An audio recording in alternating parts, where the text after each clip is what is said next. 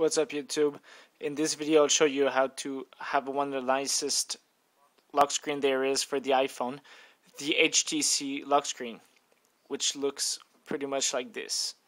You have the clock on top, the weather, your mail, your calendars, and a bunch of uh, alerts up there. And you can also unlock your iPhone like this. So I'll show you how to do it right now. Okay, so here's how you get the HTC lock screen. It's really simple. Just go to Cydia, then press on Manage,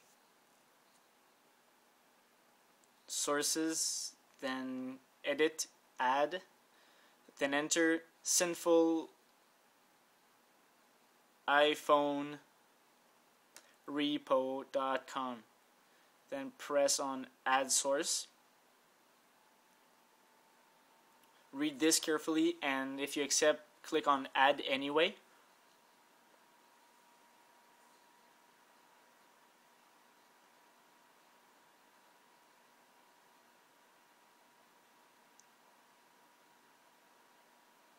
Then uh, once it's done click on return to Cydia. Click on sinful iPhone repo. Then go to H sorry don't, don't go to H go to lock info locked info cracked. Click on it press on install continue querying uh, query, querying whatever. Then go back and go to LockInfo HTC plugin. That's just underneath. And click on install and then press on confirm. Querying. then it'll download and install both packages.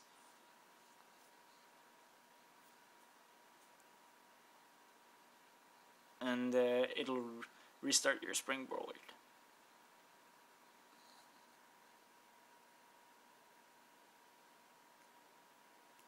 And once this is done you should have your uh, HTC uh, lock screen.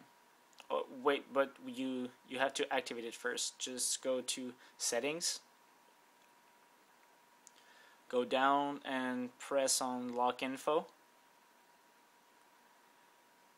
Plugins plugin order.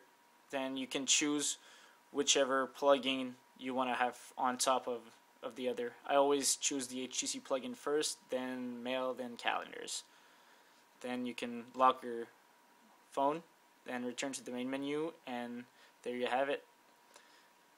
So you can unlock it like this, and there's all the alerts up there, and the weather, and the mails, and the calendars and stuff. So you hope you've enjoyed this tutorial.